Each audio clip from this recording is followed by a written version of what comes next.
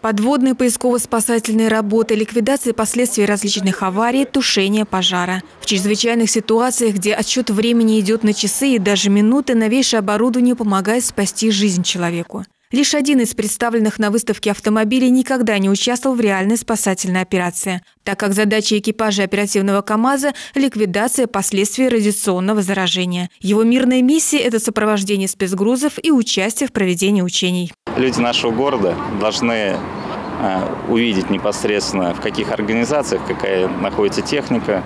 А в данном случае э, детям интересно посмотреть на автомобильную технику. Дошкольники оказались самыми любопытными посетителями выставки спецтехники. Не всегда дослушав, что им объясняют специалисты, они спешили быстрее залезть в кабину и почувствовать себя спасателем, который мчится на помощь пострадавшим. Пожарные здесь есть. Четыре пожарных, командир отделения, пожарный водитель.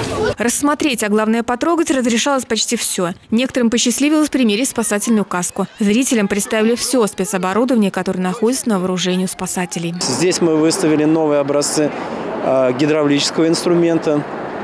Ну, детям здесь показывали в работе. И новые образцы водолазного снаряжения.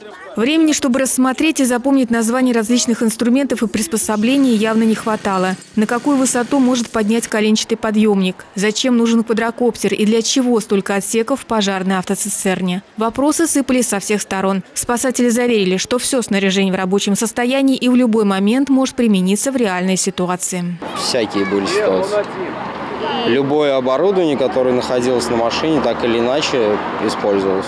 Выставка пожарной спецтехники в рамках месячника гражданской обороны проводится для популяризации профессии спасателя и демонстрации новинок оборудования и снаряжения. Елена Грицкова, Владимир Лисик, служба новостей Саров 24.